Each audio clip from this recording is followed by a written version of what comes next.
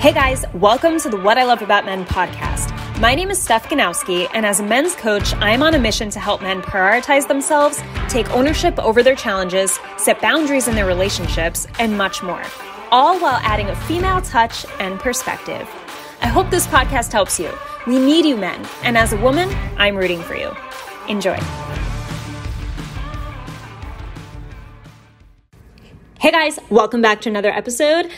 I am going to take your biggest sex related challenges and give a little perspective around them because I recently posted a, uh, in my stories on Instagram the other day, it was yesterday, of just asking what are your biggest sex related challenges right now. And I had a, a, ton of responses. So I combined them into 13, um, 13 main topics some of them were repeated. So, overall, 13 different scenarios in which you guys feel challenged, which is really interesting and I'm sure can be really helpful for you guys to listen in because even for those of you who didn't feel brave enough to share or um, or comfortable, shouldn't just say brave, like comfortable. Um, it's it's a personal thing, right? So uh, first of all, I, I respect everybody who trusted me to share all this um, or to share your personal challenge with me, but it's a good thing you did because now I'm, I'm talking about it. Of course, I will leave all identities out. so let's go into this. And before I go into this, guys, if you haven't noticed in my in my social media, if you follow me, I have just come back from a while being away from Instagram. And what I did in the time when I was away was actually I actually decided to rebrand. I decided to focus more on sex related topics and communication and behavior. Um, and eventually, what I want to do is to be a sex coach for couples. So that was actually always my game plan, which is kind of funny because I look at old videos of myself and old goals, and it was always start working with men. Once I'm comfortable with men, start bringing women into the mix and actually working with couples and giving perspective to each of them and working through their issues with them in terms of behavior and actually more along the lines of sex. So when I think about this, I'm right on track with what I've always wanted to do in my life, which is kind of cool. So so whatever perspectives I give you now, understand that I'm about to go to school for sex for sexology to become a certified sex coach and sexologist and at this point, no, I am not certified. I am not a I am not a. Uh, I don't have a master's in human sexuality either. What I do have is an, a self made education that I have been feeding for years and years, probably seven years now. I'm obsessed with learning. I'm obsessed with working with other people. And I've been in the coaching industry working through these scenarios for five plus years now. So, um, in the relationship space, oh, almost four years. So, when it comes to these issues, these are things I've helped my clients with, regardless of me being a sex expert or um, having formal sex, sex education. But I am going into it in the future, so I will have more of that that current research involved to really give you guys tools and techniques and tactics and whatnot. But for right now, I think I have a pretty good perspective on what's worked for clients in the past based on these challenges. So just take you know, just take what I have to say as another perspective, another female perspective to help guide you and help give you more direction and more clarity around these situations. And, you know, even just having conversations with with friends and people who question certain scenarios just helps you gain more clarity around them. So just think of me as helping you getting clear, clearer, um, and more confident in these areas that I'm about to discuss. All right, that was my my little uh, disclaimer. All right, let's go into these 13 biggest sex related challenges that I got in terms of responses from my Instagram. And obviously, I could go on and on with these 13 things. I'm going to try to keep it to like two to three minutes each. So just kind of give a quick recap, quick perspective around each one. I can't deep dive, but I wanted to touch on all of your comments um, just so that you all feel heard. All right, so number one, oral sex when no real connection is built and also feeling like sex is incomplete without oral sex. All right, so this is pretty interesting. I would say that if you're feeling challenged by the fact that you can't either relax during oral sex or you don't feel comfortable um, performing oral sex on the partner you're with, I would ask yourself why you're doing it. If it doesn't feel right, or if it feels like a challenge, or if you don't feel ready, um, most likely your body's not ready, your mind isn't ready for it. Um, but I would ask yourself why. You know, like, why does this feel like a challenge for me? It's always good to ask ourselves questions when we're put in scenarios that make us do a double take or think twice about it. Something is not right, something is off. And when something's off, we want to clarify what's off by questioning ourselves. It may sound silly to question yourself, but when you do that, it is giving yourself another viewpoint um, and, and forcing yourself to come up with an answer you normally wouldn't come up with, right? So when it comes to, and this this kind of it feels like you're forcing or you might be forcing oral sex into the mix of your sexual experience because you feel like sex is incomplete without oral sex. You know, going along with your second point. So, if you're feeling like sex is not complete without oral, and then you feel challenged performing oral sex or accepting oral sex without a real connection, then that's really going to that's really going to um, confuse your sex life overall. I would say it's going to make you less vulnerable, less open, um, less expansive when it comes to your sexual interactions, and it will more likely put a block on you if you don't understand why um, oral sex is a challenge. So I would get really clear on that. You know, I would ask yourself, why is it why does it feel like a challenge? You know, when do I when do I feel ready for it? What needs to happen for me to feel like it's not a challenge? And how can I put a boundary around it until I feel like it feels good and it feels right?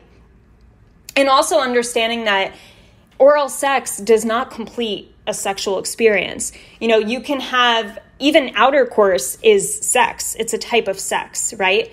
So when we have um, you know, a sexual experience is not only penetration. A sexual experience can be laying naked together, like rubbing against each other. A sexual experience can be playing with toys or masturbating next to each other. It doesn't necessarily have to be penetration along with oral sex, which is how the porn industry and the media portrays it to be, right? So you can have a sexual, deep, intimate sexual experience with someone that is fully complete and fulfilling for each other, for both people. And there's no orga- there's no orgasm, there's no penetration, there's no oral sex, but you can still feel fulfilled. So I think we need to understand that there are different types of sex and different ways of feeling sexually fulfilled. So, going back to your original concern or challenge, I would ask yourself why it's a challenge. What would have to happen for it to not feel like a challenge? And what can you do to, if, if needed, create a boundary around how you can feel good about a sexual experience moving forward without oral or with it? All right, number two getting more sex to begin with. Okay, so this is a sex related challenge for people. Um, I don't mean to laugh, but I had a lot of people with this response and they were laughing with it. So I'm just thinking of people's reactions as they wrote this. So when it comes to getting more sex to begin with, I would I would ask yourself, you know, are you putting yourself in the place to accept a sexual relationship at this point in your life? sometimes when for the single person sometimes it's a matter of just being a hermit and not putting yourself out there sometimes it's a matter of blocking yourself when you do meet someone and just kind of sexually closing down shutting off because you're insecure because it's been a really long time and because you have this somewhat of an insecurity around opening up sexually again or becoming sexually vulnerable, you actually su- shut yourself out to the possibilities of allowing sex to happen in your life. But it does take putting yourself out there, right? It does take to embrace your own sex life with yourself. And when you feel really comfortable sexually with yourself, it's easier to express your sexual self with other people. And it comes across more genuine in the fact that you are a sexual human and you express that and you're comfortable with that and you want to share that part of yourself. So I would ask yourself if you're in this situation and you're single, um, how comfortable are you with your sexual relationship with yourself? And how often do you have sexual experiences alone? And if so, what is preventing you from doing that? And if you did that, do you feel you would be more comfortable sexually expressing yourself with other people in order to initiate more sexual experiences? As far as someone who's in a relationship, if you were to respond with getting more sex to begin with, I would I would ask yourself when was the last time you did have an active sex life with your partner? What was different at that time? What were you doing? What were you not doing?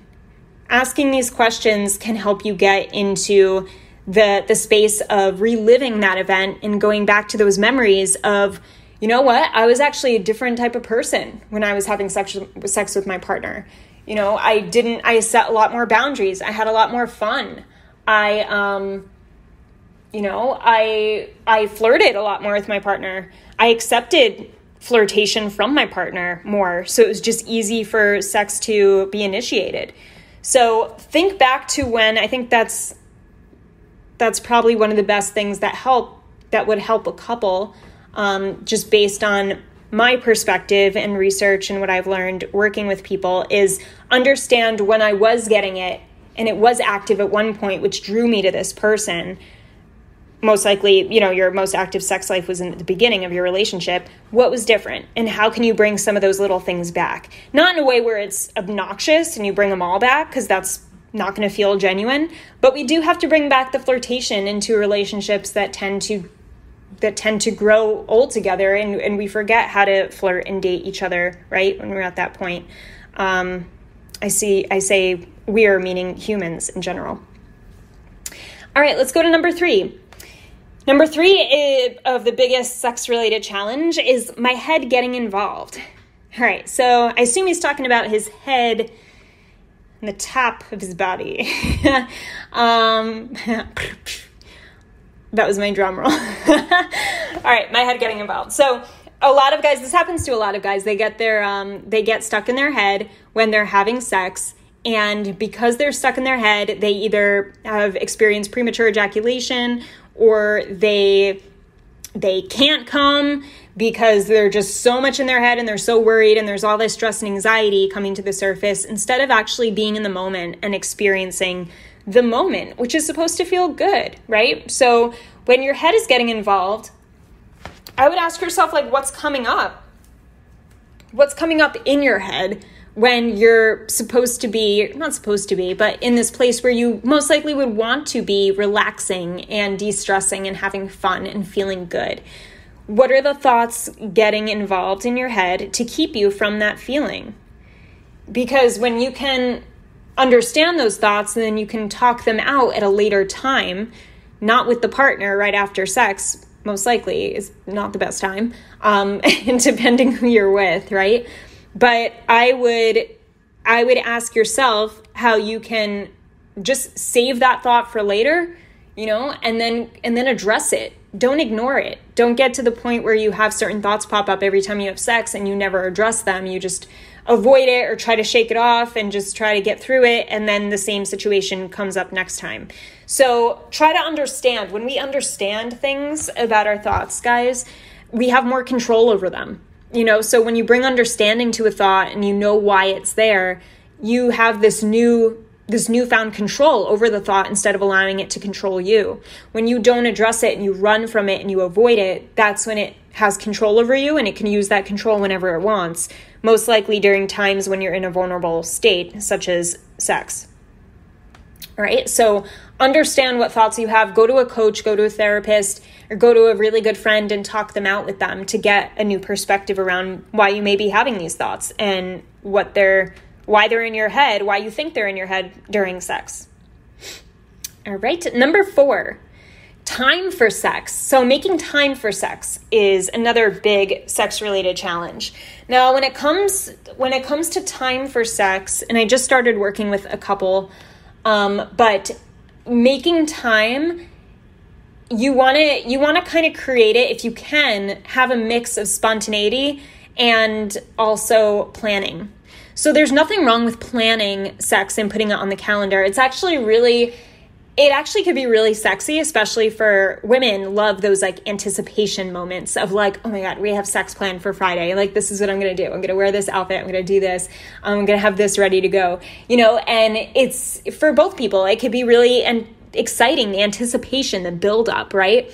And especially for women, this is important because when we experience the buildup, and I think I was talking about this in the last episode actually, when it comes to foreplay, that anticipation and buildup for us is 90% of the sexual experience. You know, so making the time and planning it, don't feel like planning is weird. Planning is actually pretty awesome and very beneficial in terms of allowing her to build up her her uh, sexual anticipation and excitement therefore getting hornier and hornier hornier and hornier. What word I just said by the day in order to get to the point of feeling so turned on by the time it's sex. It's sexy time. So having a mix, trying to do your best of having a mix of of the planned sex and then spontaneous sex is a great way to go about it and and prioritizing it you know because we make time for the things we prioritize that's really that's no bullshit there, right? If we prioritize something, we will do it. If it is a main priority for us, we will do it. We will find a way, we will get it done. If it's not a priority, we will say we don't have time, right? So you have to ask yourself is this truly a priority for me and my partner? And if it's not, how can I talk to them about this? All right. Number five, want to wait, want to wait for marriage. All right. So, in terms of this being a big sex related challenge, it can definitely be difficult in today's society to hold off for sex when it to hold off on sex for marriage because sex is all over the place, right? It kind of it always has been, but even until this point, I think it's becoming less taboo. It's more out there. It's more in your face, which actually is a great thing. I think it should be um, because it's such a natural, it's the most natural part of life there is, right? I also kind of like that it's taboo because it makes it really like, it kind of makes it sexy to talk about. You know, it has like that mystery along with the taboo nature of it. But anyway, um, when it comes to waiting for marriage, it's it's of course difficult and i think it's just in in this situation making yourself putting yourself in a situation where temptations are on the lower side right? You can be really easily tempted today sexually. And if you can create strict boundaries, then there's definitely possibility for less. Um, less temptation, um, less resentment for yourself if you end up doing things you didn't want to do. Um, so it's just really, it's just really setting yourself up for success in this way and getting excited to meet the person of your dreams who you're going to share this sexual experience with. I think it's also important to still maintain a sexual relationship with you and that doesn't necessarily mean, you know, you have to you have to masturbate every day or whatever. Like there's no like set here's how you have a healthy sexual relationship with yourself, but but to have it like what does a healthy sexual relationship with you mean to you? What is your perspective on that? And when it comes to a partner who you're going to eventually share that with, what does that look like in your eyes? And what are you excited for to share sexually with this person? You know, I think that would make the anticipation for this person so much more exciting and and also when you have replayed a certain experience that you see in your head it's just like having a past memory you know the brain thinks it already happened so whenever you're whenever you're thinking or dreaming up a scenario in which you are sharing experiences with a future partner, it's like you're practicing. So when it comes time for the actual experience, you're not as nervous, you're not as like confused or worried or anxious. Maybe you're not any of these things, but it just is a good way to set you up for confidence in this area of your life if you're not physically experiencing it right now. Um, this doesn't mean like have intentional like wet dreams all the time.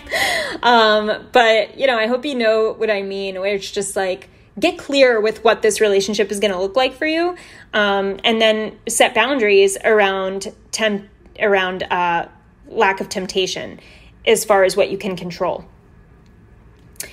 number six controlling a high sex drive when not having a romantic partner All right. So I would ask you, you know, I would ask yourself like what is what does it mean to control a high sex drive? Like what does that mean to you? Because for me to control my high sex drive is different than how you would control yours. So I would ask yourself like, all right, well, when I am controlling my high sex drive, what does that actually mean? What am I doing? What am I saying? How am I feeling? How am I acting? Um, and having that ideal scenario for how you want to be in your sex sexual relationship with you when you do not have a partner to share to share it with yet. So what does that look like for you? Get really clear on that because like I said it would be different for everybody and if you can feel like you are in control because you have defined what that means to you, then you'll have a lot more confidence when it comes to your sex drive right? So maybe that means, all right, no porn at all when I'm single, you know, just as an example. Um, you know, maybe it means only masturbating this amount of times per week so that I have the energy to go out and grow a social life where I can actually become involved with an actual person. You know, so those are just two examples of things you could take or leave um, just to help you understand that a little clearer. Number seven, lasting longer in a dominant position. All right, so when it comes to when it comes to lasting longer, it, it's tough. Like this is actually a tough combo because often in order to last longer, you want to steer away from dominant positions because they are uh, they do put you in the habit, the natural habit and tendency of thrusting very hard and fast because you're in control and you kind of your body takes on this um, you know this this masculine dominant um, control of just that uh feeling which of course i don't feel uh, because i don't thrust as you guys do. Um, some women do thrust that is not me.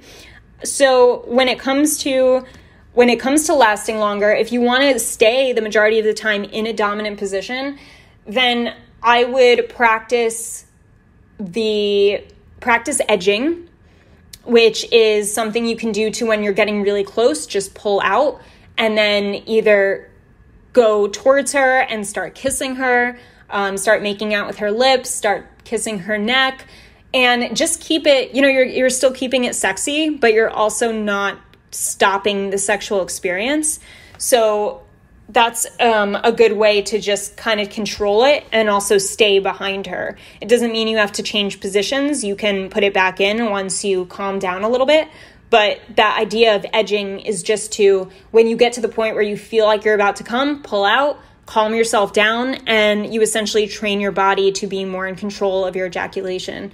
So you can keep those dominant positions, but practice edging with it and that could help you to last longer overall. Otherwise, changing up positions is a good way to to last longer overall because you know especially especially doggy it's really hard for guys to to to maintain that position and that level of thrusting and dominance and quickness you know like you're you're just very likely to come much probably much sooner than you would like to but but yeah, I would try for this. There, there are many ways you can last longer, but for now, I'm just gonna say switch, like pull out, calm yourself down, practice edging, and then you can go back to your dominant position. All right, number eight, receiving a blowjob. So this is another big sex-related challenge: receiving a blowjob. I think a lot of guys, what a lot of guys and this is just one perspective, obviously. I'll be talking a lot about blowjobs in the future. but um I have to stop laughing at like every sexual word. like the worst sex coach ever. No, I'm just kidding. Um, not really. All right, receiving a blowjob. So what a lot of guys fail to realize or understand is that if you can make your woman feel really sexy when she's giving you a blowjob, you're you essentially start to win her over and I think guys forget this or they don't take full advantage of this because because when you're enjoying that experience and you do something that she really likes, you know, while you're enjoying that experience, whether it's calling her a certain name, whether it's like looking at her a certain way or like playing with her hair a certain way, whether you're squeezing it or just like like grabbing her head gently, you know, like and and talking to her a certain way. Like there are a lot of things you can do to make the experience enjoyable for her so that she wants to give you more blowjobs, you know, and and I think this is just like so underrated. And guys don't realize that women can really enjoy it if they're treated a certain way while they do it. Don't be the guy that just lays back and like closes his eyes and isn't involved with her. Like she's just gonna feel like her jaw is strained, like it's not worth it, like it's not fun. It's not like she can't get turned on because she doesn't feel like you're into it or she's not sure if you're into it. So there's like a little, you know, annoyance or anxiety there. So you have to think about the feelings you're you're um, you're bringing into the experience of a blowjob. How are you making her feel when she's making you feel this way? You know, I think this is how we should be for each other about partners. This is like a sexual experience is about trying to gauge how we can both have pleasure while we pleasure each other. So if you can find ways to have her to make the process enjoyable for her as it is for you, then you know she's most likely to reciprocate that when you're pleasuring her and it's just a much better experience so like i said i'll touch more on that topic in the future but i'm going to move on to number nine. Number nine the biggest sexual uh, sexual challenges is lasting more than 15 minutes when i have my girl and doggy. Wow that's actually a long time 15 minutes. Like um that is a long time to last while in doggy. Guys, actually the this may shock you, but like the the average sexual experience, like the average amount, yeah, the average time it takes to have a sexual experience and to end that experience is between 5 and 6 minutes. Which is pretty crazy, right? But it doesn't have to be like this long thing. What should be the long thing is the foreplay leading up to it right? And then if you want to have a lengthy sexual session, then by all means, you know, take a take a boner pill and go for an hour. But it's you know, it's not um, it's not always you know the average is is very much less than you think. When it comes to, and I'm just going to throw in this number too, when it comes to premature ejaculation, if you come in under less than a minute, that is a sign that you possibly are experiencing premature ejaculation. So so yeah, when it comes to lasting more than 15 minutes, when you have your girl in doggy, which um, which is a dominant, you're in a dominant position, right? So so when you're in that dominant position, I would just go back to the edging technique, right? What can you do if you want to stay in that dominant position? What can you do to sort of pull back and calm your body down? and do something that that calms you you know maybe it's just like rubbing her back really quick maybe it's like flipping her over and dirty talking and you know grabbing her wrists and saying something and like kissing her neck for a few minutes and then you get back up flip her back over and keep going. So that's like that's a way for you to calm yourself down and hold that position uh, keep that position in the mix.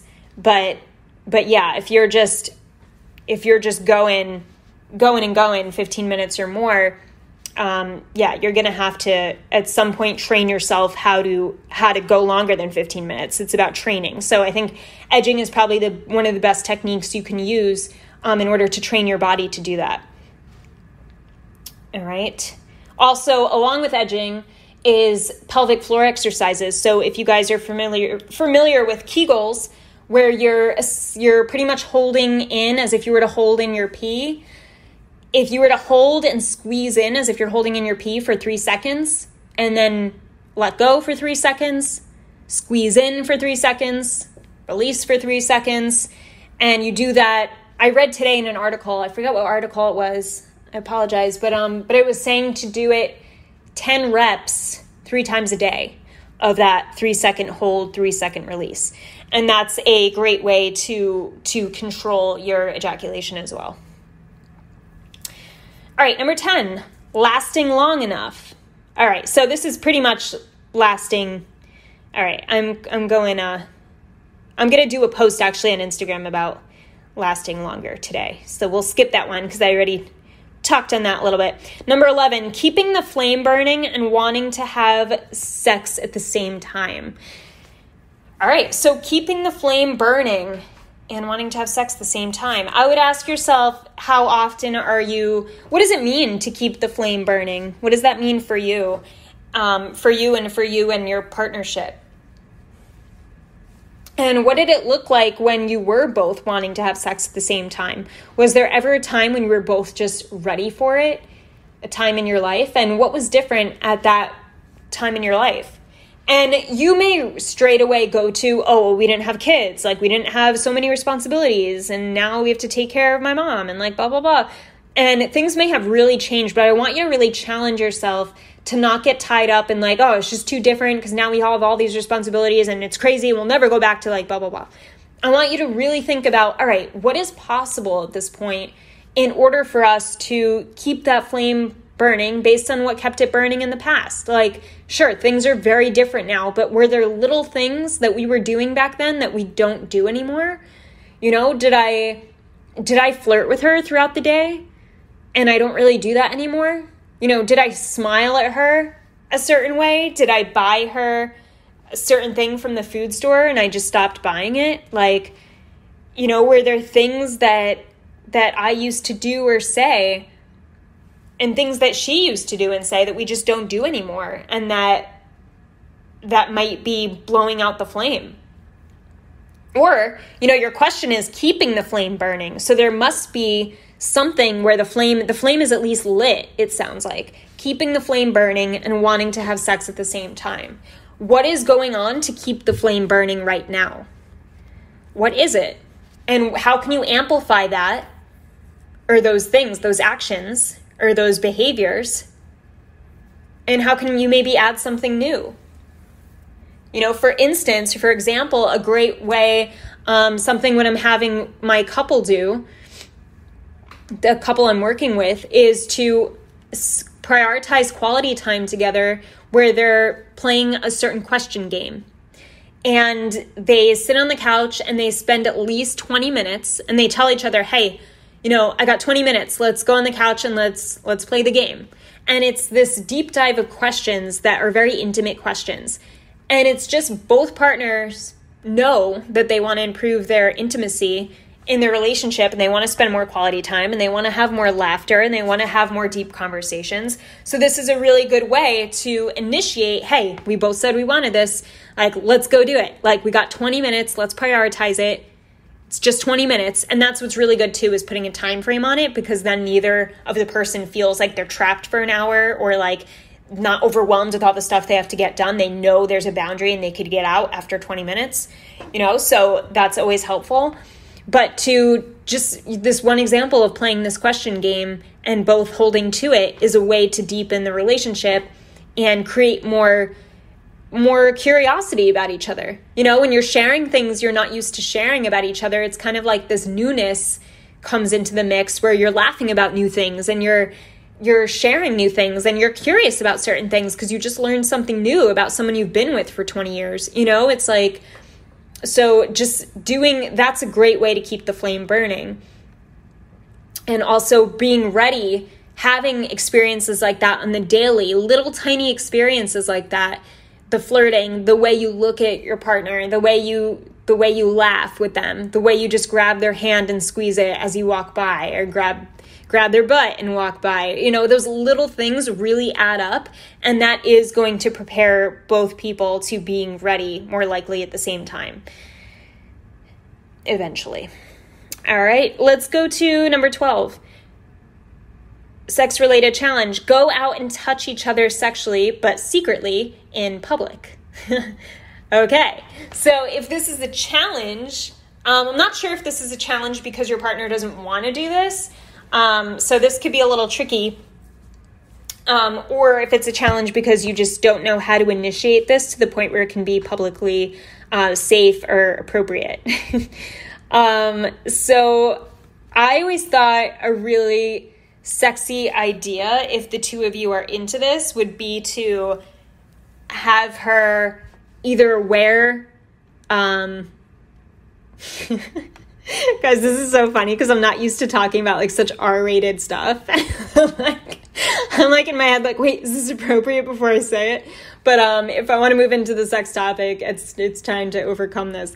So, you know, I think a really secretive, sexy idea is for her to actually wear like have a toy inside of her or outside of her her panties while she goes out with you or maybe not wear any panties and it's like your little secret together. Um, having you know planning sex in a place where you know it's very dark but somewhat publicly just do not get caught um, and and just being on board with what you guys are that you're both okay with it you know and that you're both into it. Um, i think like initiating it in a way that's very dominant and certain is the best way to make your partner feel comfortable. Because if you're like eh, should we do this? I don't know i'm kind of nervous it's less likely to happen. So so kind of like giving each other the green light to like and, and being very certain that this is something you want to do and you have an idea of how you want to do it. And then just go in with the idea and see how your partner reacts. Just try to be really confident about it and then and then have a good time see what happens. All right 13 the fear that that the amazing okay last sex related challenge. The fear that the amazing momentum slash chemistry we have will eventually fade. All right this is a great one um, this is a great one because it's very real right but i think that um, yeah i think it's it's having the it's having the realist attitude that yeah it it will fade but then it can get stronger again you know, it's just like it's just like in life with everything. Life is a roller coaster, right? There are always ups and downs. It is never always on the up and up. And for you to feel like like sex or your relationship will be the same is just setting yourself up for failure. So it's it's recognizing that yeah, things aren't always going to be happy and exciting and sexy, but I'm prepared for when it's not. Like I know I know how to handle it and I know that everything's going to be, you know, I know that I'm with a partner who's going to who prioritizes me and we're going to do our best to get through it. And um, if anything, I'm going to do my best to get through it. So really just putting the trust back on yourself and understanding that yeah, it's a reality and that's so that's okay, but that's what makes the highs so good right? Because if we never experience lows or uncertainties, we wouldn't appreciate the highs so much and i think it's it's good to be real about that but i think it's also good to not live in that fear of not being able to presently enjoy the great momentum in chemistry. Because you're not presently enjoying that if you're living in fear. You can't do both at the same time right? So i would try to focus more on couples who you admire in terms of like wow, they just seem to like really have it together. You know, who do you know in your life that just handles things, like takes things as they come, but like deals with it and like does it with love and like is there for each other. No matter how hard it is, like they keep going and then and then they do have like this really sexy, attractive side to them because they come out of the hardships and they do it together. Unfortunately, I don't think many of us know a lot of those types of couples. Um, and I was just I was just watching a video actually of Esther Perel, and she was saying, you know, it's it's kind of sad because we have we have so many. It's so easy for us to name our favorite brand, our favorite band, right, or like our favorite musician, or our favorite actor, and we have like these role models in different areas of our lives, like business, right? Like everybody's obsessed with business today, and when it comes to relationships, there's not many people to emulate and kind of look up to in that sense. So it's important to find who's around your life to kind of give you that that uplifting hope and that proof that hey, this is possible. If it's possible for them, it's possible for me and my partner. Um, so just looking at that more than you do the fear of the potential loss that you didn't even, even experience yet, you know? So, and hopefully you don't. So it's that way you can be more in the moment of these amazing good times of momentum and chemistry but but be a realist understand it's not always going to be here and the, the lows make the highs so much better and it's just just do the best you can right and focus on that that couple who you're emulating all right, guys, so that is it. Those are the 13. I didn't want to go crazy into them all, but I hope that me just going through these gives you another perspective. Um, I'm sure there are many perspectives on these. You know, I even have more perspectives on each of these. So there's not like one answer fits all type thing. It's just, okay, how can I expand a little bit on this challenge? And how can I help myself by getting more perspectives from other people? So that is it. If you have not yet, please um, leave a rating and review for this podcast and also submit any requests you have for future sex related topics because I think you will. Um, well, like I said, you will be hearing more sex related topics. And if you want to dive into specific ones, I'm going to be covering more specific ones. So submit any requests all you got to do is leave a rating and review and then head over to Instagram at Steph Ganowski and let me know what you want the next episode to be with a screenshot of your review. All right, that is it. Have an amazing morning, evening, or night wherever you are in the world, and I will talk to you soon.